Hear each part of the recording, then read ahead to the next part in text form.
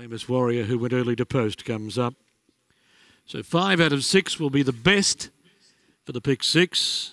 There's 27 players with a chance. The gates are back and they're off and racing. Then for posterity dropped back shortly after the start.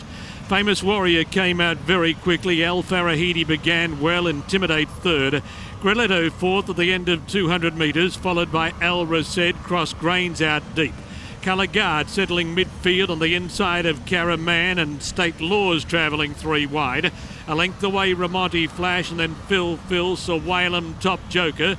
For posterity, unidentified and with the red cap, Fad Ha had dropped out to the rear as they ran the first quarter in 25.4.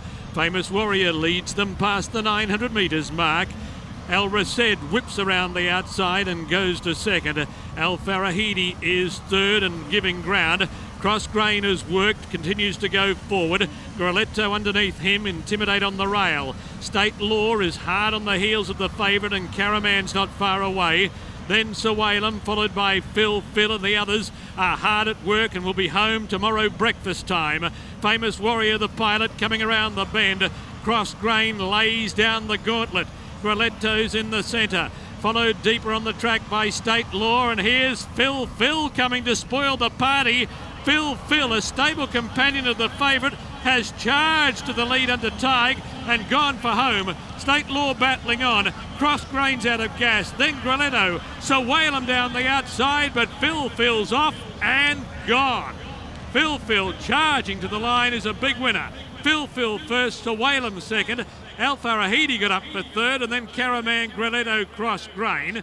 Followed further back by unidentified, a long break to Famous Warrior. Then came Fad Ha, Ramonti Flash, and then El Rased Intimidate, Colour Guard, and then a bigger gap to For Posterity, uh, followed by El Farahidi and Top Joker has come in last of all.